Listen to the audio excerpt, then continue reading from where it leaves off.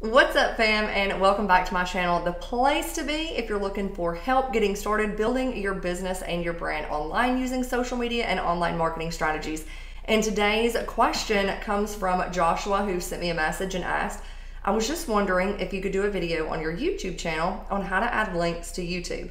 I've got a few links on my channel, but it's been so long since I've done anything like that, I can't remember how. So yes, that's exactly what I'm going to teach you how to do on this video. So right now I'm over here on my YouTube channel. So if you're wondering, or maybe you were like, I didn't know you could add links, what Josh is referring to, or Joshua is referring to, is on your YouTube channel over on your homepage, you can add different links up here that's going to appear at the top on your cover photo. So if I were to click on how to get started online, it is going to take you to my free online masterclass. I've also got mine linked to Facebook, Pinterest, um, the Mom's Marketing Lounge, which is my online program, and also my website. So you can actually link to whatever you want to. So without just dragging this on, if you're excited to learn how to do this, hit that thumbs up button and keep on watching.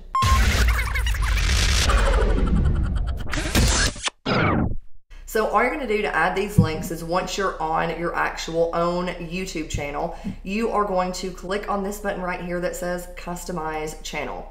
Once you click on this, and it may take just a second because my internet is a tad slow where I'm sitting in my office.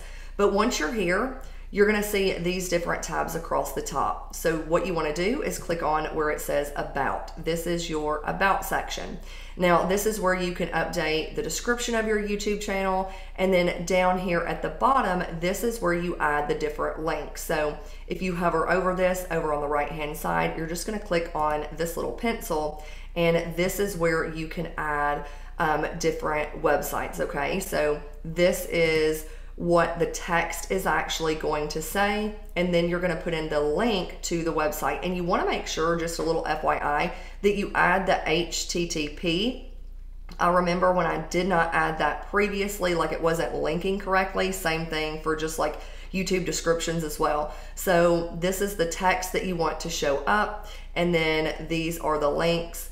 And once you're done, you just click done. And if you want to add more, um, again, this is what it's going to show. So once you get through adding, you're just going to click add. You're going to do the link title, which max is 30 characters. You're going to add the URL to where you want it to link to. And again, once you're done, just click done.